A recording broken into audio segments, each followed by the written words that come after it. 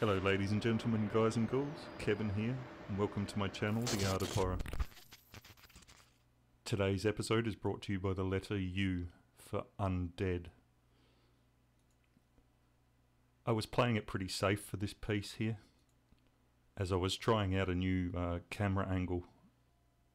So I needed something familiar to draw as I'm actually working perpendicular to the page uh, for 90% of this piece which is quite difficult to do.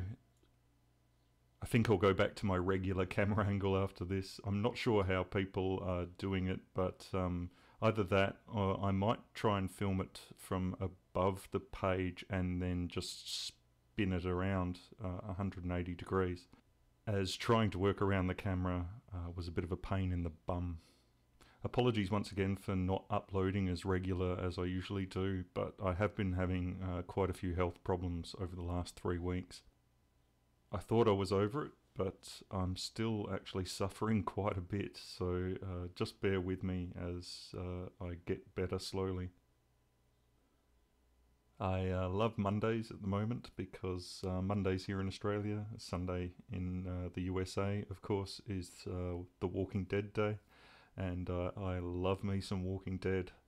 Although this season so far hasn't really uh, kicked off in the way that I thought it would, but who knows where it's going to go. So I'm hoping it warms up a bit more.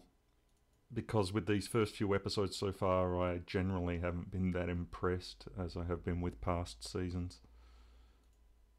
But this has happened before, so uh, we'll see where it goes and if it improves fingers crossed. Another zombie show I've been getting into, uh, of course, is Z Nation, uh, which I really enjoy. Although this season of Z Nation has been a bit slow to kick off as well, which is a bit odd because that was always a balls to the wall style comedy, and I seem to be focusing on a few of the dramas, which I think they, the creators should actually back away from and go back to their roots. As the all out zombie action was uh, quite good. It was one of the better things about that show. In fact, uh, last year, I was enjoying Z Nation uh, just as much as The Walking Dead and Fear the Walking Dead. So hopefully they start pulling their fingers out. I actually didn't mind the last episode, although it was a bit cringy. Uh, it had uh, juggalos or zuggalos, as they called them in the show. But uh, that show's always been a bit cringy, so uh, that's kind of its thing. So we'll see how it goes. I really hope they actually bring uh, the Citizen Z character back into it.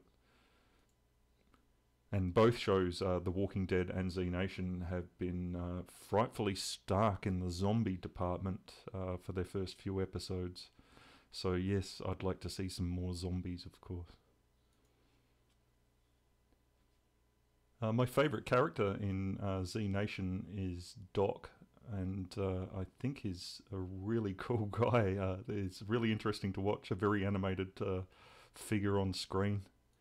And Doc's introduction in the later season was really cool, and I actually wish he didn't get his hair cut, and they were referring to him as the zombie apocalypse's Gandalf, which I found hysterical. The show seems to be trying to reinvent itself by killing off, well, I shouldn't say, in case any of you haven't seen it. I'll let you all uh, watch it if you haven't watched it yet, and uh, when it's all over, maybe have a bit more of a discussion about it. But yes, it does seem to be reinventing itself at the moment. Uh, so I am curious to see where it wants to go, where the writers are going to take it. I do have one question for The Walking Dead as well, though. Uh, without spoiling too much, I really want to know how the tiger Shiva can tell friend from foe. as, as she seems to be able to uh, pick out a savior as opposed to uh, one of the people from the other encampments uh, quite easily and tear them to shreds. I think I like the theory on The Talking Dead where uh, all the friendlies are all wearing the same aftershave, and I think I'll just uh, leave it at that. So coming up next, I'm going to jump back into VR and have a play around with uh, Masterpiece VR and try and do a bit of uh, sculpture. I am working also on some digital art at the moment. I'm trying to uh, come up with a new title screen for the show, which I want to give some slightly animated aspects to. Uh, that's taking a little bit of time, but we'll get there. All good artwork isn't finished in one day, obviously. I like to work on several things at once, so I'll also be working on another subscriber suggested piece as well, which I think may be in VR too, so we'll see how we go.